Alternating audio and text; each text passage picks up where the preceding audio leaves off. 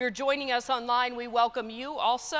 If you are joining us online, please take a moment to check in, let us know you're here. And please know we do have Mark in the back responding to any questions you may have, um, just allowing us to continue to stay connected in person and through the blessings of technology. If you're visiting with us today, I want to extend a special welcome. If you have any questions, please feel free to see me after the service. And now, a few other announcements as we get started. Please remember to check our church webpage and Facebook page for ongoing announcements and updates.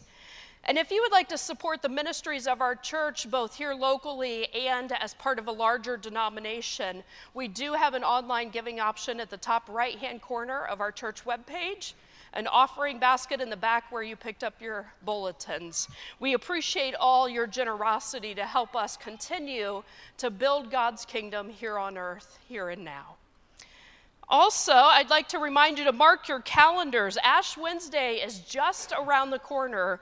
On February 22nd, we will once again be offering our drive through imposition of ashes right out here outside of the canopy from 11:30 to 1 o'clock that day, and then again from 5 to 7.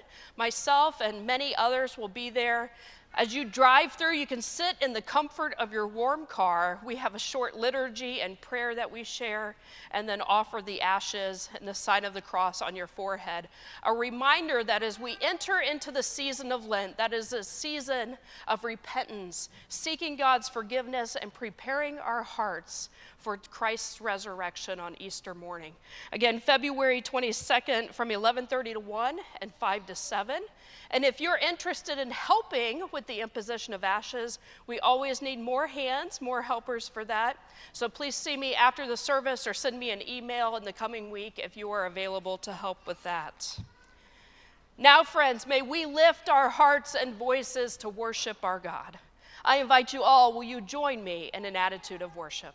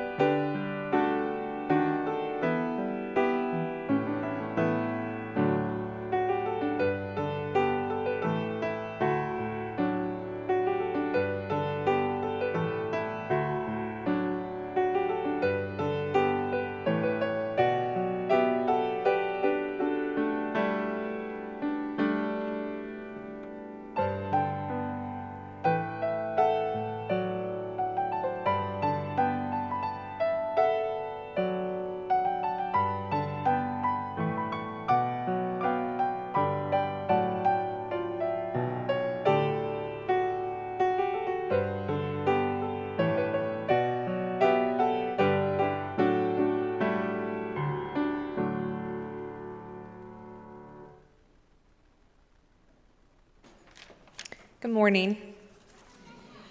Will you please stand as you are able and join in the call to worship? We gather in the name of the living Christ to worship God.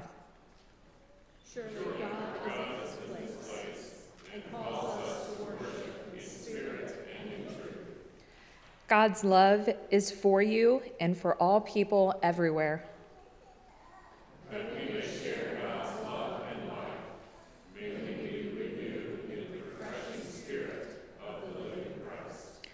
The living Christ is with us. Please remain standing to sing hymn number 200, Tell Out My Soul.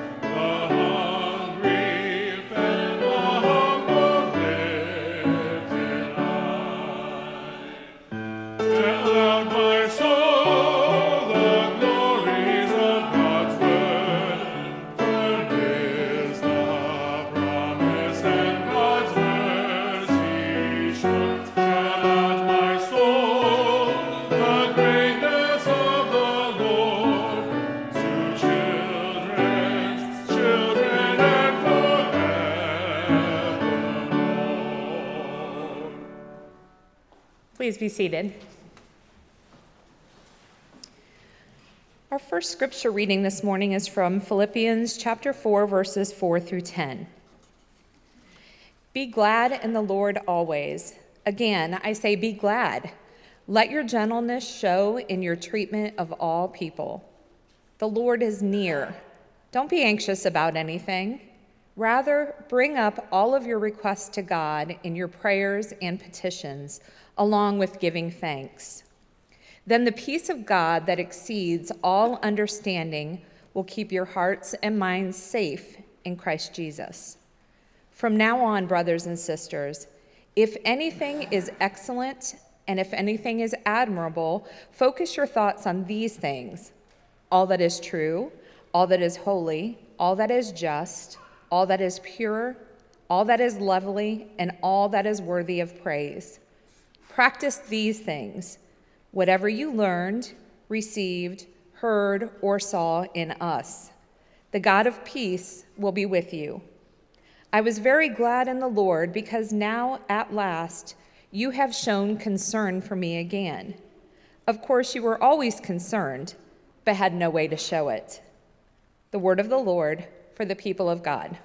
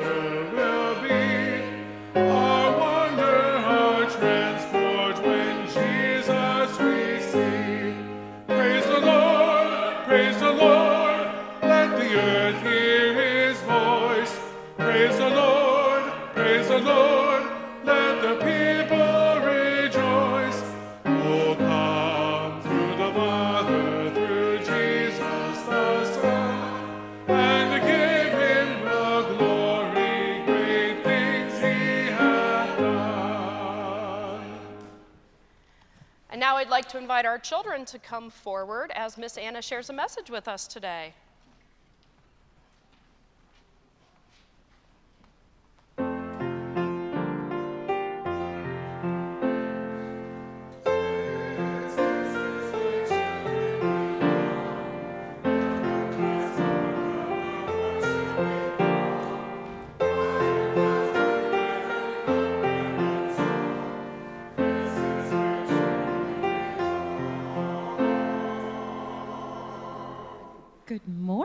There aren't very many of us today, but I can see the ones that are here, good helpers. So I have a challenge for you. Okay? Let's see how good you are at this game. We are going to talk about focus today. All right? So right now I need everybody to focus on the window. Oh, Brandon, window. Okay, focus on the floor. Josie, floor. Okay. All right, now don't look at the window. Alice, did you look at the window? No? She says no. Okay, good job. Now, is it harder to focus on one thing or is it, mm, let's say it different way. Is it hard not to focus on the right things? Maybe sometimes. Yeah, we're going to talk about that today. So I have a pillow for you. I have two pillows actually. I have this one, and I have, you want the other one? This one. Which one is more comfortable? Is that one squishier? Is it nicer here? Is this one is this one soft? Is it squishier than the other one? No, pillow. No? Okay. Well, this pillow is meant to be comfortable. Both pillows are supposed to be comfortable. That's what they're for. That's what they're intended to do. This one is doing a much better job than this one. So let's open this one and see what makes pillows comfortable. What makes this pillow comfortable? What's in here? Henry, you popped it. Here's one. What do these say? Here you go. Ada, can you catch? Oh no! If I can throw. Okay, what's it say? Goodness. Faithful. Faithful. This one says love and patience. kindness, joy, What's your say, Ada? Can you shout it? Peace. And we've got gentleness there too. What are these? You should be familiar. What made this pillow so comfortable? Fruits of the Spirit. Good job. I have another one. What's it say? control. Self control. Good. So we have all of these pillows. This is what made that pillow such a comfort. It's filled with the fruits of the Spirit. It's got all of these pieces that make it a comfort to everyone around them. This pillow, though, it did try. It did have something in it. What's in there? Emptiness. Emptiness hate, and that's a big word, discontent, right? So both of them were trying, their focus was on the wrong thing. If we are meant to be a comfort to this world, which we are, we are meant to be a comfort to this world. It is easy to focus on the wrong things, and then we turn into a pillow that is not a comfort to anyone. We turn into something that is not what we are intended to be. How do we get fruits of the Spirit? By being what? By doing what it says, but that's just focusing on the fruit. How does a tree get good fruit?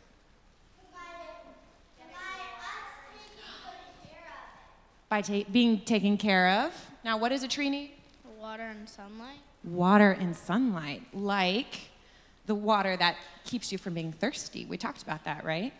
A tree that focuses on the water and the sun and just being is going to be a much comfier pillow. And it's not because it's trying to be a good pillow. It's not like it's trying to compare itself to other pillows. Why can't I be good enough? Why am I not as good as this person? Why am I not a good enough Christian? That's not what we're focusing on.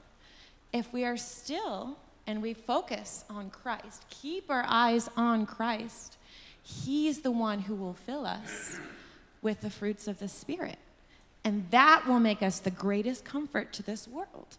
And that's what he calls us to be. Not better than someone else, not the best Christian, but just to focus on Him to get all that joy. Which pillow do you think is happier? That pillow is definitely happier. Yeah, that's a good pillow. I like that pillow too. Well, the, yeah, the bunny is cute, but this is a better pillow for sure. Okay? So, all I want to make sure you guys remember is don't let the world distract you. You don't have to try to be the best pillow. If you keep your eyes on Christ, if you focus on God and pray and spend time with Him, He will fill you with what you need to meet your purpose because He wants you to be joyful. Will you pray with me? Okay. Dear God, thank you for loving us. Don't let us be distracted with the world, but help us look to you to be loved. Amen.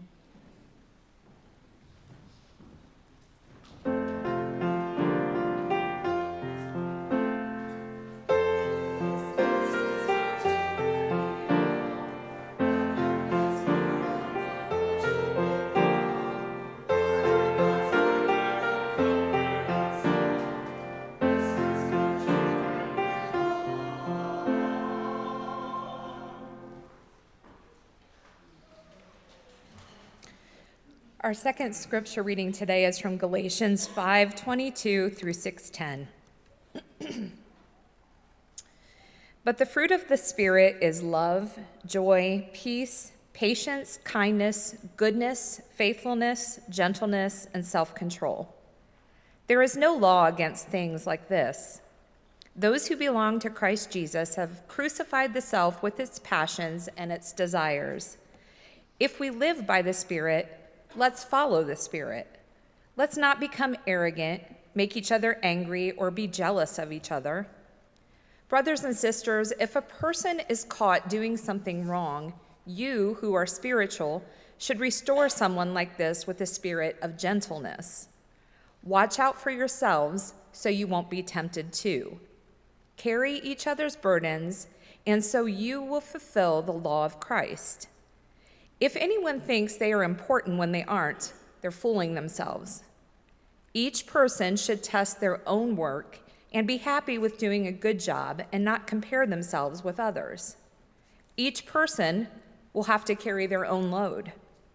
Those who are taught the word should share all good things with their teacher. Make no mistake, God is not mocked. A person will harvest what they plant.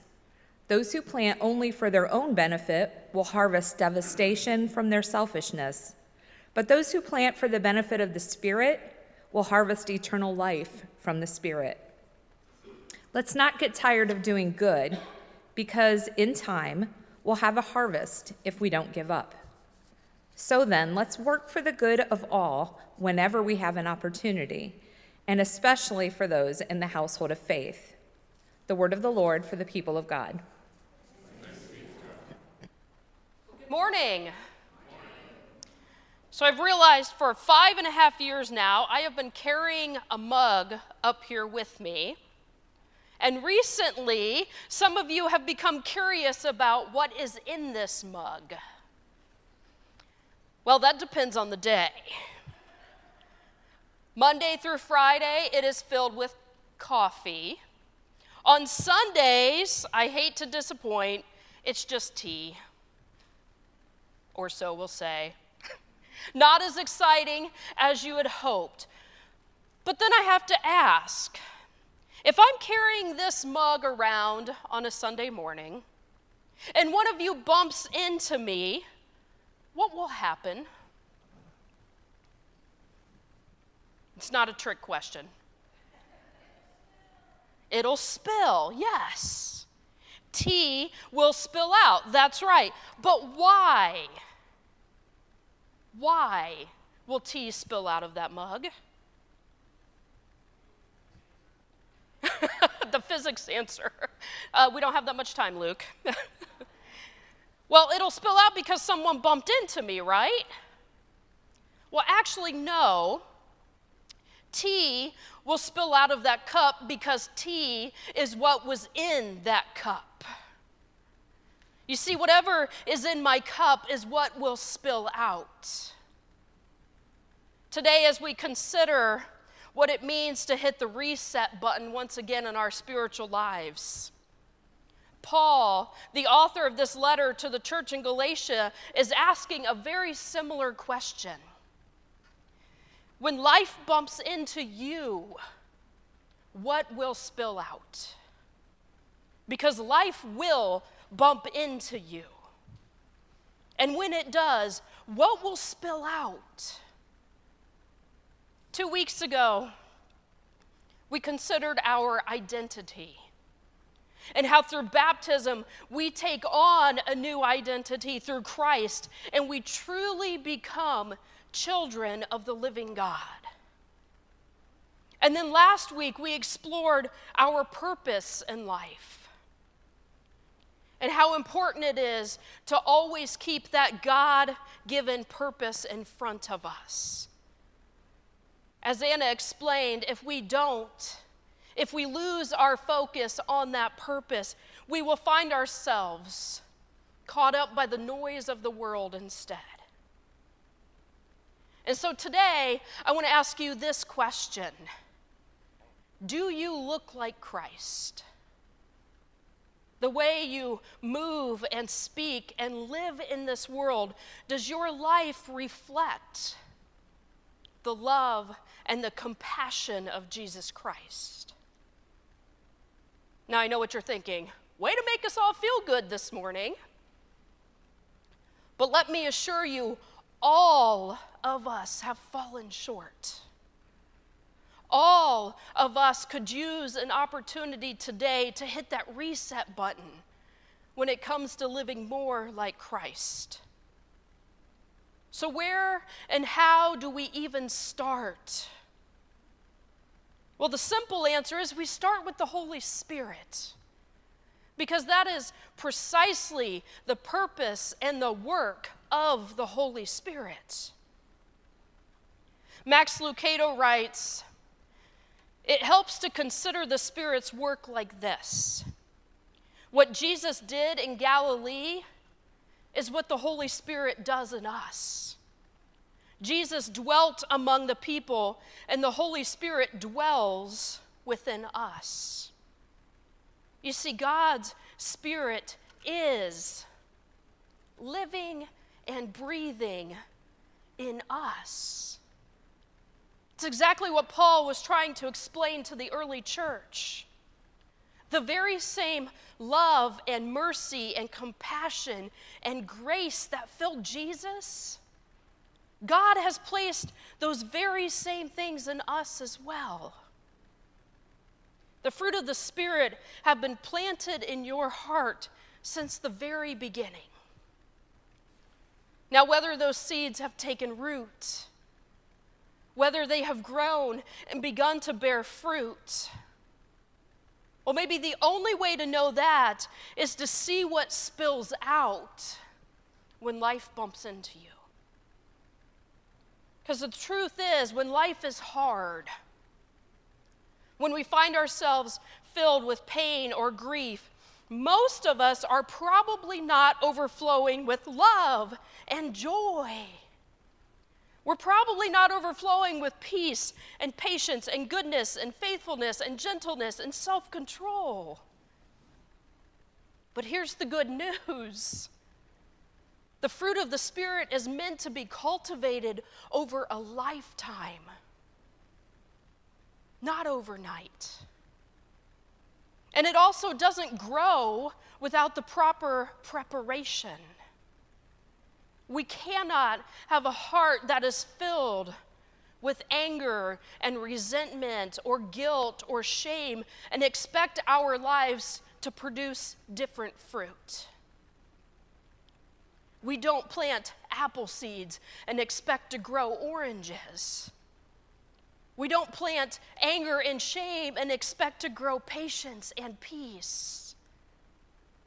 But when we turn to God, when we reset those values and seek forgiveness and accept God's grace, our hearts will find, will find them to be opened.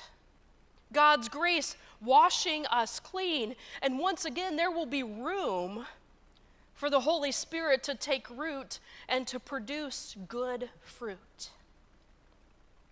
When we hit reset, when we clear away the burdens that have been weighing us down, we are allowing the fruit of the Holy Spirit to fill our hearts and to overflow from our lives into the lives of others. To embody, to live these traits. We know them as the fruit of the Spirit, and to live those, that's a tall order. In fact, I'm highly confident that I have never been all of those things at the same time. But I came across an explanation this past week that shined a new light on this passage.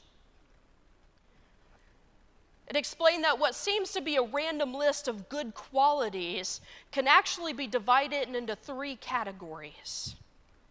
If you think about the first three fruit of the Spirit love, joy, and peace. Love, joy, and peace all are in the category of our relationship with God. And the next three patience, kindness, goodness those relate to our relationships with other people. Are we patient, kind, and good in our relationships with one another?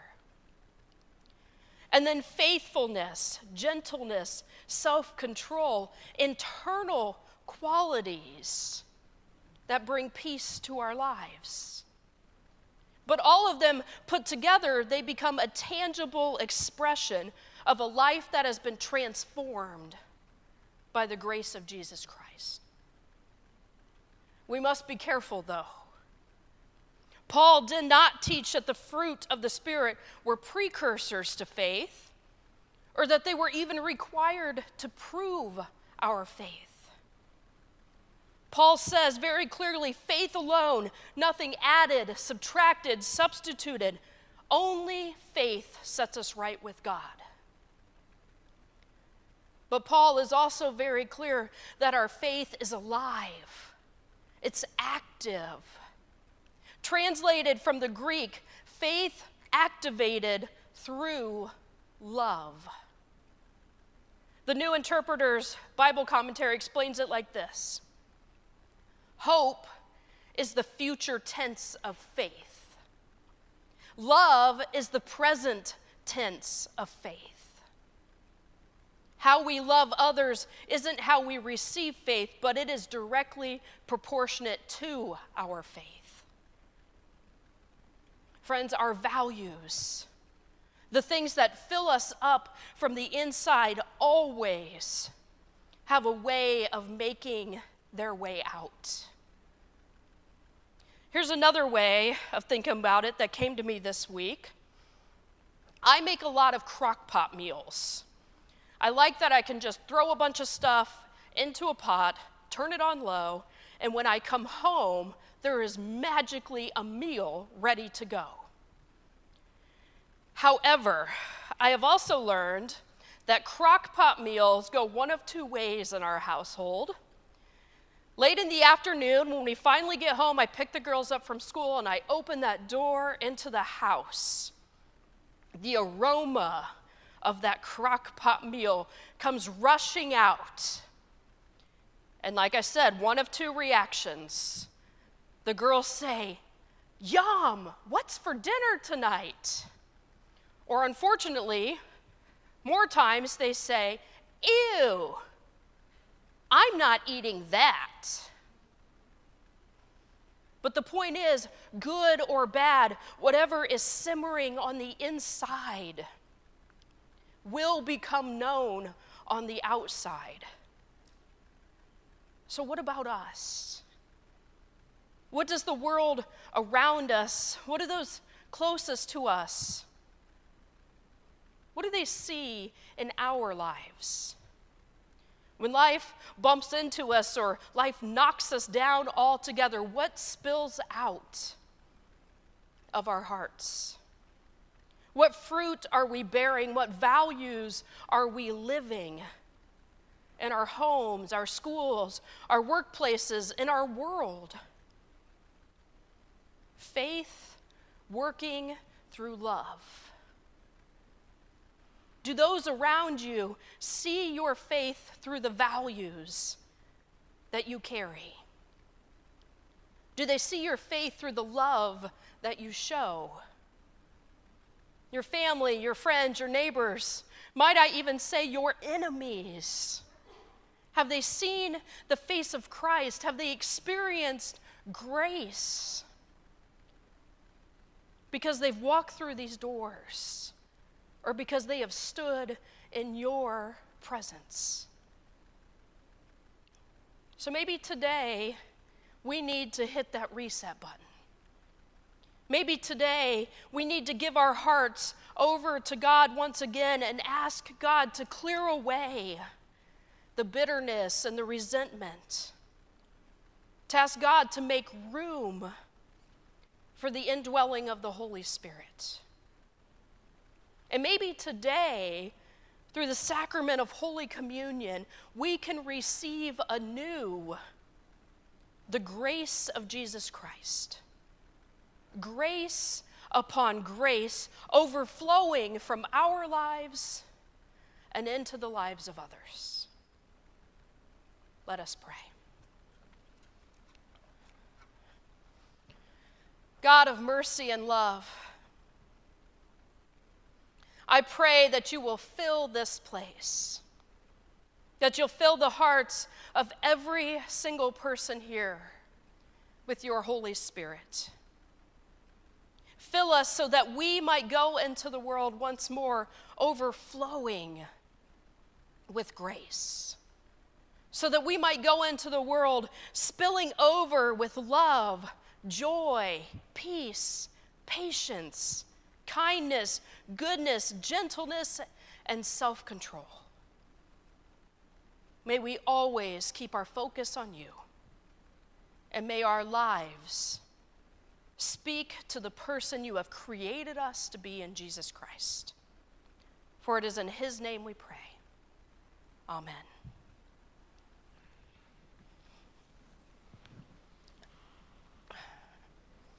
I'm going to invite you all to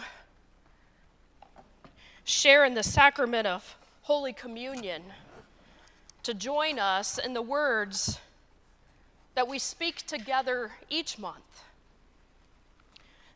Words that maybe many of you have memorized, but every time we say them, they remind us that this is a holy moment a sacred interaction between us and our Creator.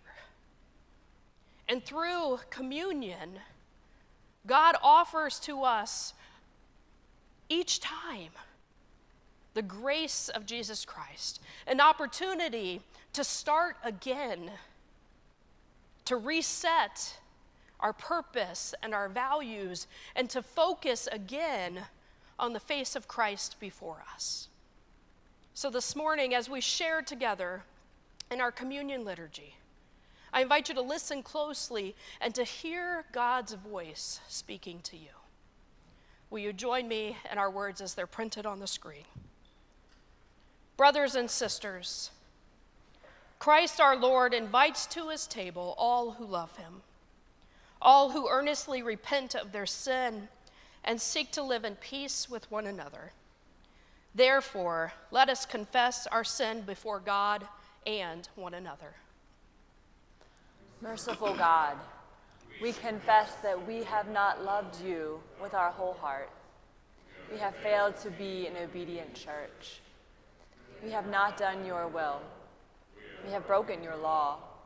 We have rebelled against your. heard the cry of the needy. Forgive us, we pray. Free us for joyful obedience. Jesus Christ our Lord. Amen. Hear the good news Christ died for us while we were yet sinners. That proves God's love toward us. In the name of Jesus Christ, you are forgiven. In the name of Jesus Christ, you are forgiven. Be with you. Lift up your hearts. Let us give thanks to the Lord our God.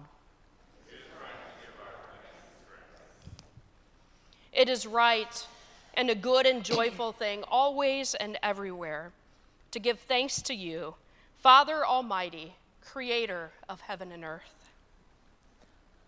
Through Jesus Christ, his baptism, his suffering, his death, and his resurrection, the, church, the church was birthed. We were delivered from sin and death, and with us, God made a new covenant through water and the Spirit. And for all these things, with all the people of earth and all the company of heaven, we praise God's name and join their unending hymn. Holy, holy, holy Lord, God of power and might. Heaven and earth are full of your glory. Hosanna in the highest. Blessed is he who comes in the name of the Lord. Hosanna in the highest. On the night in which Jesus gave himself up for us, he took the bread, gave thanks to God, broke the bread, gave it to his disciples, and said, Take, eat. This is my body, which is given for you. Do this in remembrance of me.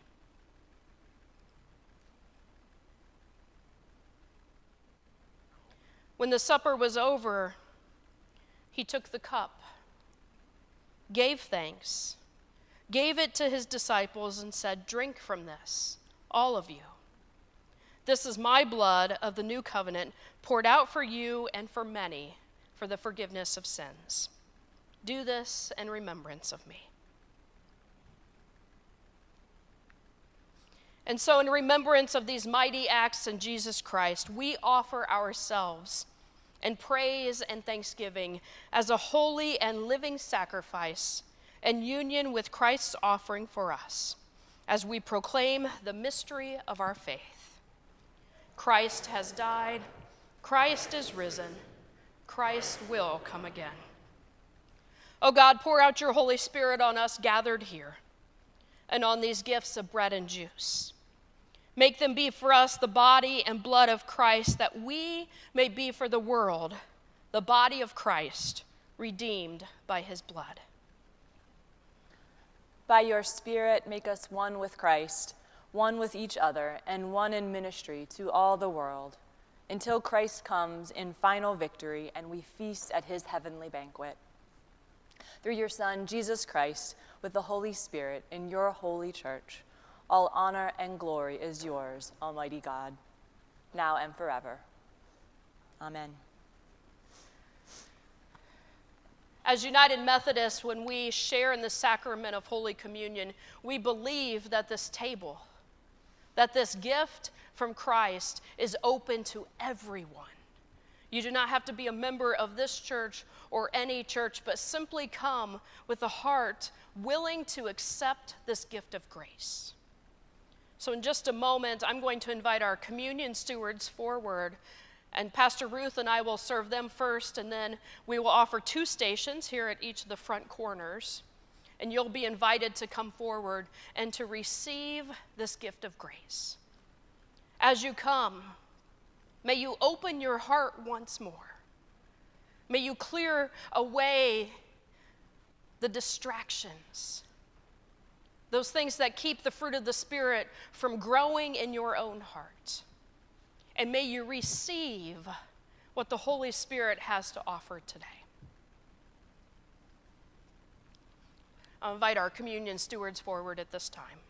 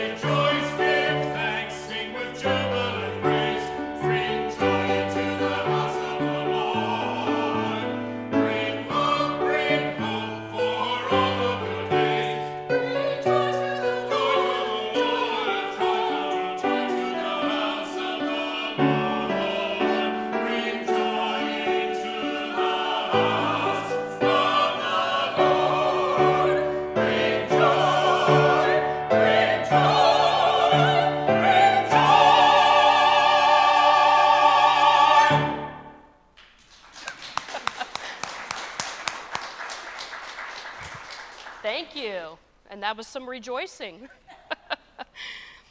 At this time, we pause in this moment to consider the gifts, the graces, the blessings that Christ has poured out on us. And we recall that God has called us to offer back all that we are for the building of the kingdom that is present here and now. I invite us at this time, we will stand and sing together the words of our doxology and to pray that the gifts we bring will be blessed and will be used for Christ's work today. Will you please stand and join me in singing hymn number 95, Praise God from whom all blessings flow.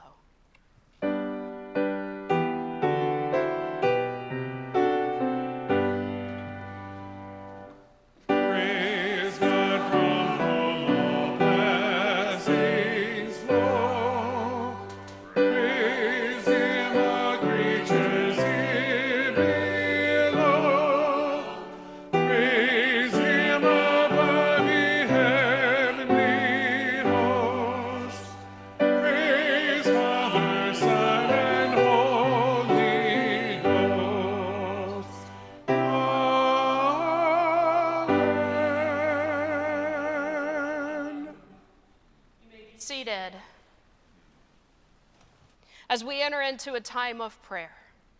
May we come with open hearts. May we come ready and expecting God to speak. Will you join me in an attitude of prayer? Holy and eternal God, we come into your presence today with praise and thanksgiving for your faithful love to us.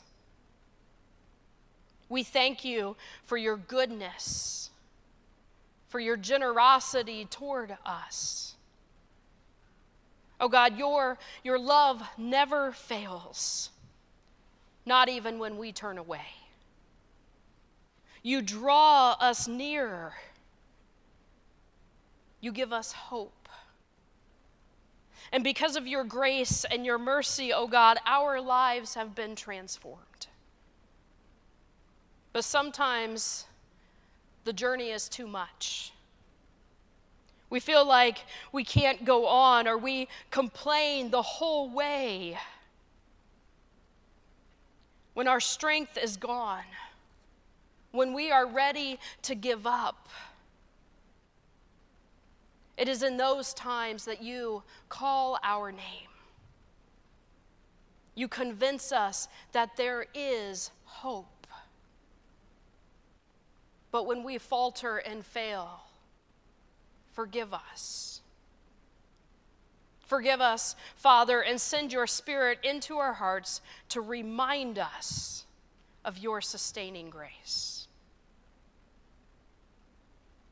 And now, Father, we acknowledge that as you welcome us, so you welcome our prayers too.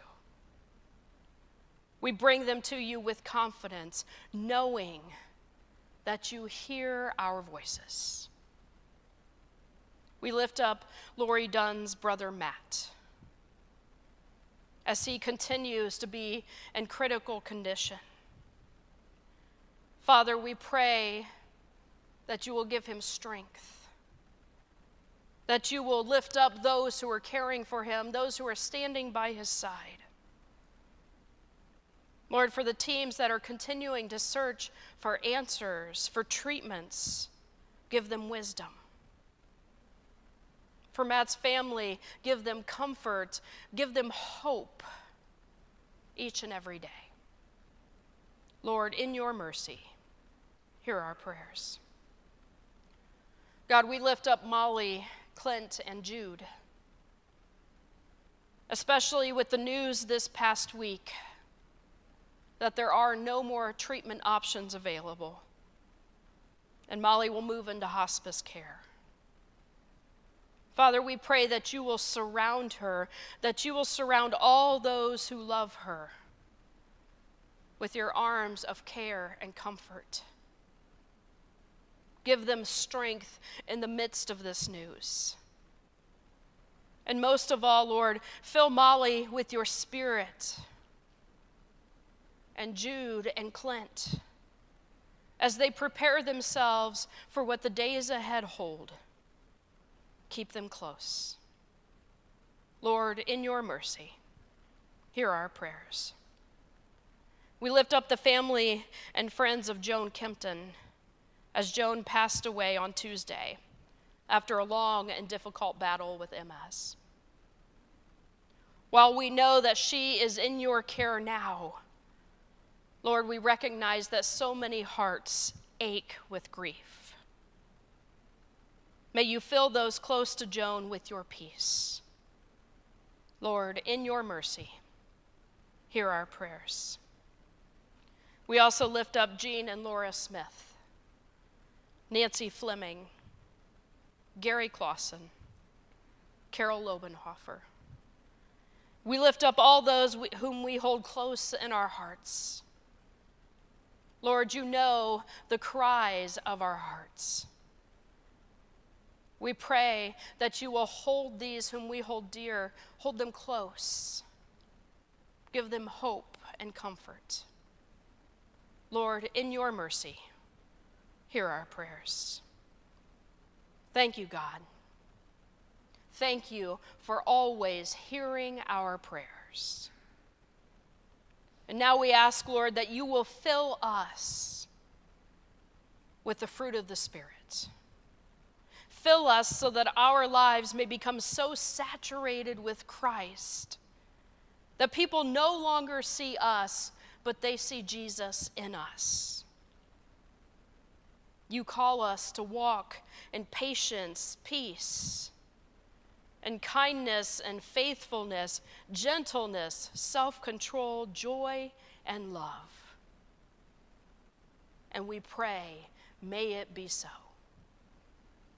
We ask all these things in the name of Jesus Christ, who taught us to pray by saying together, Our Father, who art in heaven, hallowed be thy name.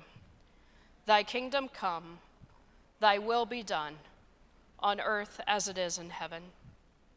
Give us this day our daily bread, and forgive us our trespasses, as we forgive those who trespass against us. And lead us not into temptation, but deliver us from evil. For thine is the kingdom, the power, and the glory forever. Amen. And now, as children of God, filled with the power of the Holy Spirit, may we stand and sing together our closing hymn, number 451 Be Thou My Vision.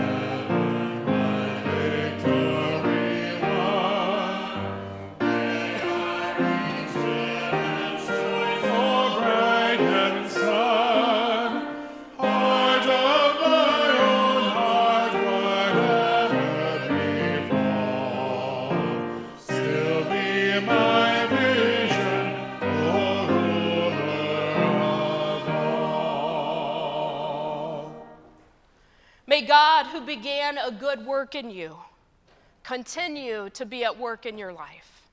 May you have a life centered in the Holy Spirit, a life that bears rich fruit. Go now in peace to love and serve the Lord. Amen.